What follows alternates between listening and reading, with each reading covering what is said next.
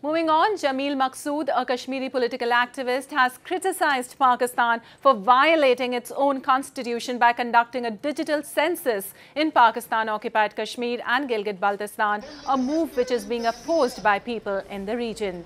Speaking on sidelines of UNHRC session in Geneva, Maqsood said locals fear the census will diminish their identity and aims to change the demography.